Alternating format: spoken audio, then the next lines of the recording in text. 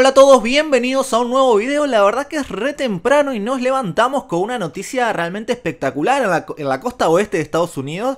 Seguramente la gente todavía ni se haya levantado muchos de ellos y ya tenemos un notición, un bombazo realmente increíble de traspaso. Se había rumoreado mucho alrededor de Kemba Walker, sabíamos que muy probablemente Kemba iba a dejar de ser jugador de Boston Celtics, pero no esperábamos que esta cuestión se termine tan pronto, se dilucide todo tan pronto.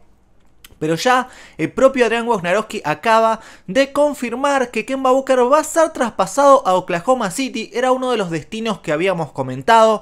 Era uno de los rumores que estaba sonando con más fuerza. Entonces el equipo de Oklahoma se lleva a Kemba Walker y a cambio dará a Al Horford. La verdad es que es un muy buen traspaso para ambos equipos. Voy a comentarles más o menos cómo es el traspaso en líneas generales. A ver, Boston da a Kemba Walker al pick número 16 del draft de este año que tendrá el equipo de Boston y un pick de segunda ronda de 2025. Por su parte, el equipo de Oklahoma City Thunder da Al Horford, a Moses Brown y a una segunda ronda de 2023. Yo no sé qué hará Boston con Moses Brown, eso me genera una cierta incógnita, una cierta incertidumbre. Pero Moses Brown es un jugador muy joven, tiene 21 años recién, ha promediado en 43 partidos el año pasado alrededor de 9.9 rebotes, 8,6 puntos, 8,9 rebotes para ser más exactos, así que veremos qué sucede con esto. A ver, Teniendo a Horford, teniendo a Robert Williams, yo creo que ya no hay demasiado lugar para otro pivot. Quizás le puedan llegar a buscar alguna salida a este jugador, pero veremos qué sucede al fin y al cabo. Pero obviamente el punto fuerte, lo gordo que se lleva el equipo de Boston Celtics claramente es Hal Horford. Horford eh, tuvo una estadía muy muy buena realmente en el equipo de Boston. Después se fue por unas cuestiones salariales simplemente al equipo de Philadelphia 76ers. Philadelphia le ofreció un salario realmente altísimo, salario que todavía tiene actualmente y que le quedará por un añito más aún. Pero Horford realmente viene a, digamos que a suplir una carencia muy importante que tenía el equipo de Boston, que era en el costado defensivo, sobre todo desde la parte del pivot, desde la parte de la pintura, digamos, y en ofensiva también, porque Horford tiene un movimiento de pelota, digamos, que no ha tenido ese tipo de jugador el equipo de Boston en estos últimos años, porque ni Canter obviamente podía hacer eso, ni Tace podía hacer eso, ni Robert Williams tiene la capacidad tampoco como para jugar como juega Horford. Además del tiro de tres puntos que es crucial en este sentido también. Horford en su última temporada, cuando estuvo con Oklahoma City, promedió unos 14,2 puntos, 6,7 rebotes, 3,4 asistencias, que es mucho para un pivot realmente. Tirando además 36,8, casi 37% de tres puntos, cosa que tampoco está nada, pero que nada mal.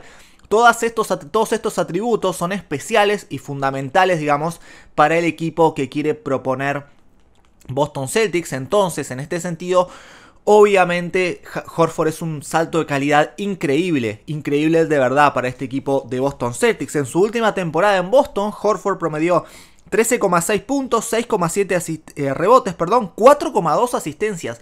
4,2 asistencias, fíjense ustedes. Kemba Walker promedió este año en Boston 4,9 asistencias siendo base. Horford promedió 4,2 siendo pivot. Fíjense ustedes la diferencia, o sea, realmente es un salto de calidad grandísimo el que da el equipo de Boston Celtics.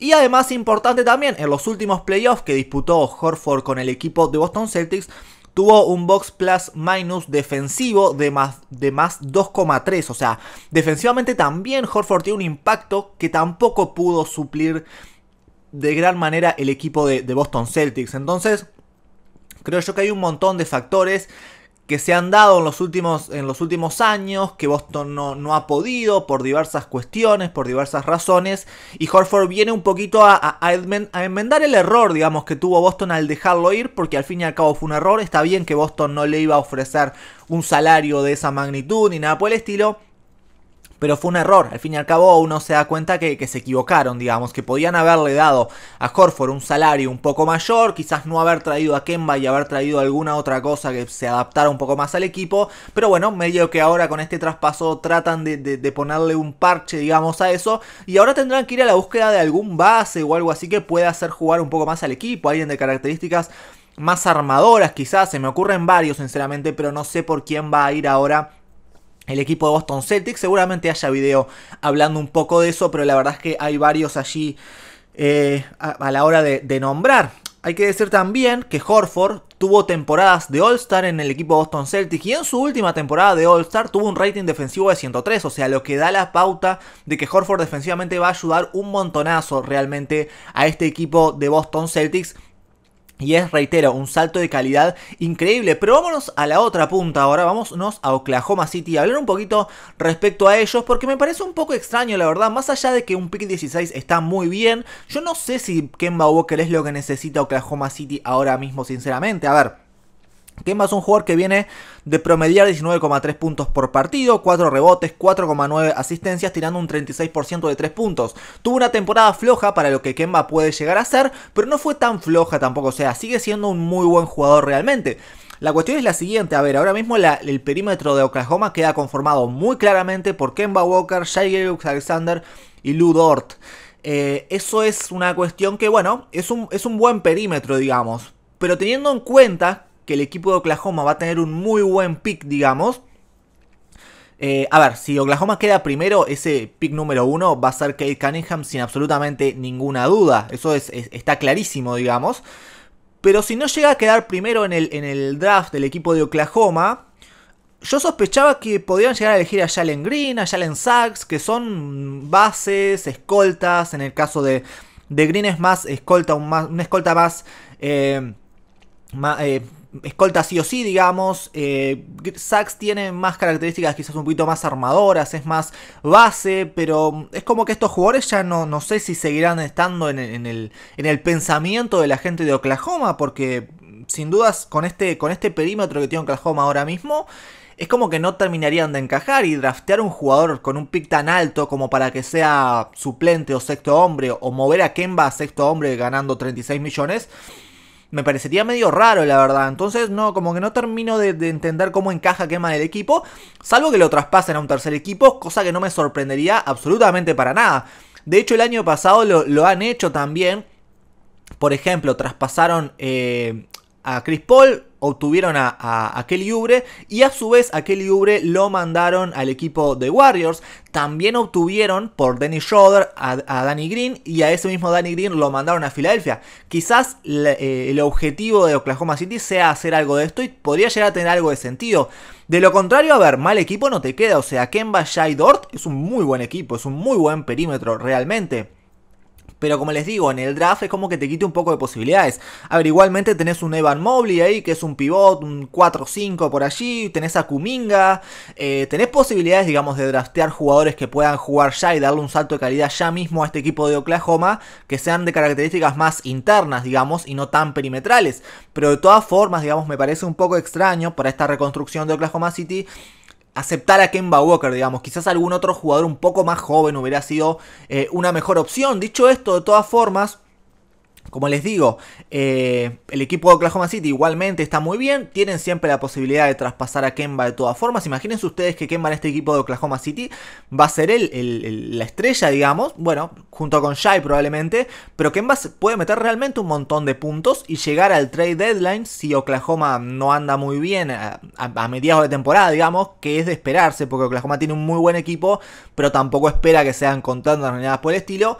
Si realmente logran revalorizar a Kemba Walker y traspasarlo a algún equipo para lograr más cosas o mismo traspasarlo ahora, podría ser una muy buena opción para este equipo de Oklahoma que veremos finalmente qué hace. Pero reitero, el foco de esto me parece que para el cortísimo plazo está en el equipo de Boston Celtics, porque Oklahoma es un equipo que todavía tiene años por reconstruir y tiene un futuro realmente muy brillante, pero para ahora mismo el futuro inmediatísimo de Boston Celtics el hecho de, llevarse a Horford me parece una decisión súper acertada de este equipo de Boston. Un equipo de Boston que en los años pasados, sobre todo el año pasado, habíamos comentado que, bueno, en el draft, digamos, uno esperaba que Boston hiciera movimientos, que hiciera algo, que se la jugara un poquito más. Y no lo hicieron. Pero ahora ya vemos que Boston se, se mueve un poco más fuerte, digamos.